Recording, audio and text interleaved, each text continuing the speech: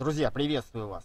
Сегодня я вновь на реке, на рыбалочке. И сегодня я не просто рыбачу, а хочу проверить, как реагирует щука на тот или иной цвет. Для этого у меня есть два совершенно одинаковых воблера. Один кислотной расцветке, другой в натуральной.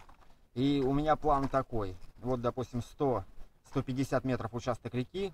Я сначала пробрасываю одним цветом перспективный участок, затем другим цветом. И буду смотреть реакцию щуки.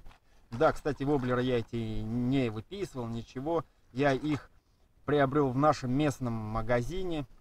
Там есть такой ящик, волшебный я его называю. И там водятся вот такие вот штуки. Цены старые, еще двухгодичной давности. Так что цены просто великолепные. И воблеры, кстати, тоже великолепные. Ловят. Уже неоднократно брал и буду брать.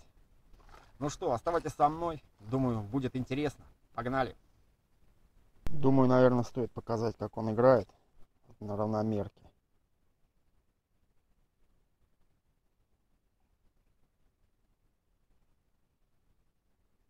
Думаю, видно. И также на рывковой проводке. Как и положено. Из стороны в сторону делает галсы. Воблер нормальный. Суспендер, кстати, зависает. Так, ну что, равномерочка.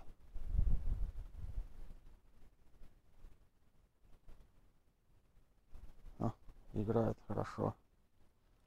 Что, рывковая. Ну, то же самое, один в один. Также галсы делает все. Все великолепно. Так, ну что, первый заброс кислотным.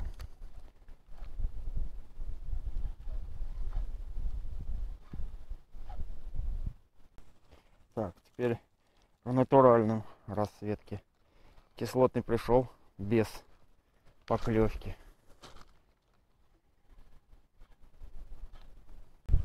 Так.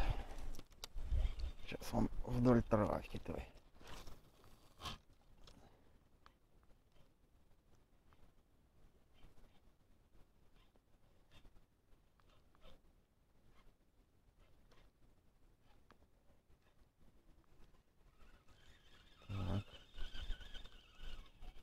Сейчас кислотничек поставим.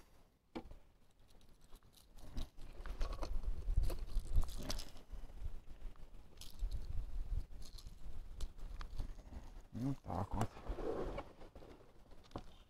Попробуем кислотничком там еще провести.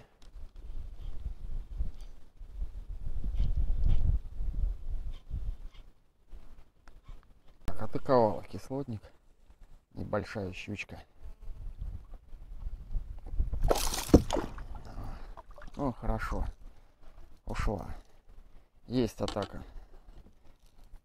на такой кислотничек. Так, ну что, под кустик, вот под бережок.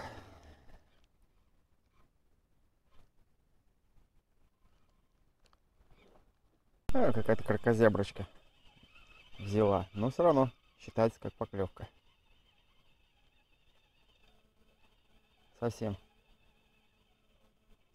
тоже 130 как и сам воблер. Но была атака. Значит, будем считать. Будем считать, что это... Тише, тише, дурочка, порвешься. Значит, все-таки атака. В жопу себе, что ли, крючок вогнал? Да нет. Насквозь, блин. Иди. Вот так.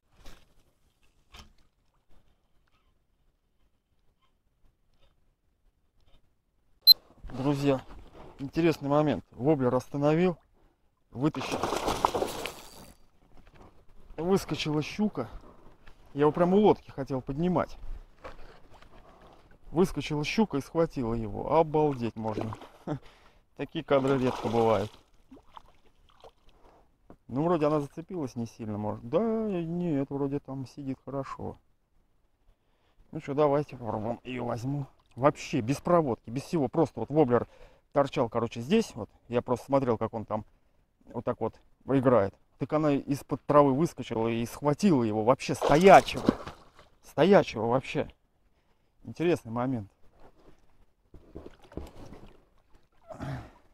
Да это, блин, ребята, это двушка, блин. Это двушечка. Замечательная рыба. Ха. Да, момент.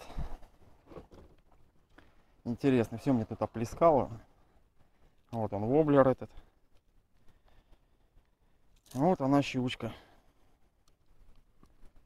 Вот такая вот. Хорошая щука. Ну, говорю, килограмма два. Вообще интересно. Вот она эта злодейка, которая стоячий воблер укусила. Еще больше, как рыболову, мне кажется, нравится ли этот воблер. Если он нравится ему, он его чаще всего бросает в воду и он ловит. Опа, взяла, взяла.